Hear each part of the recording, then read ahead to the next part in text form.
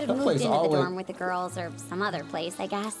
Though, I know I would miss see the comfort Come on, bro. So I'm the tub. only tall guy in the street. stream. actually.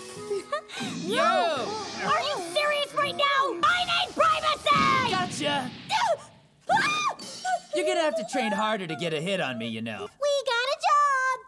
Really? Holding up, upside down. Right!